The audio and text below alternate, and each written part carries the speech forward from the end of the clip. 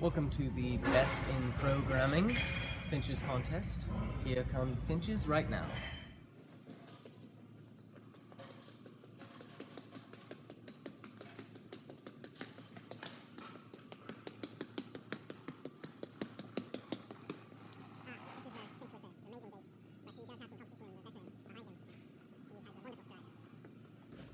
Uh, here we see the programmers doing some last minute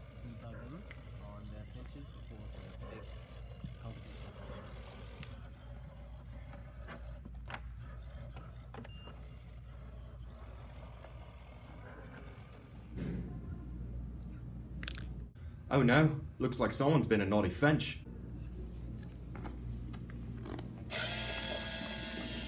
Hey! No! Not! Not! You have to wonder if this is a bad design. No, mate, not bad design, bad programming. I love my Finchette. She's a rescue finch. when I first saw her, I was quite shocked because of how unique she was. She stood out among all the other zeros. I knew she was the one. At first, we needed time to learn how to communicate, but now she does exactly what I program her to do. I would like to say thank you to our sponsors, the OXFFFF. They work every day to save badly programmed Finches. For our newer viewers, that's the Freedom Foundation for Finch Fighters.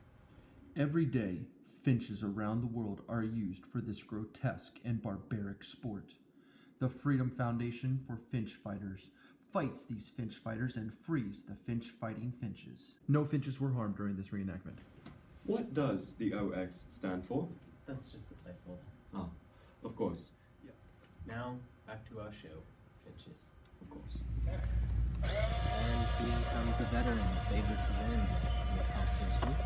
Um, let's see what trick he has.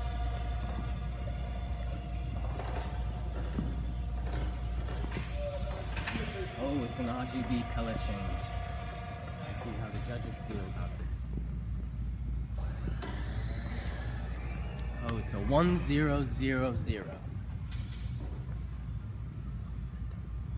He seems to be feeling confident. Let's see how the newcomer will do against this veteran.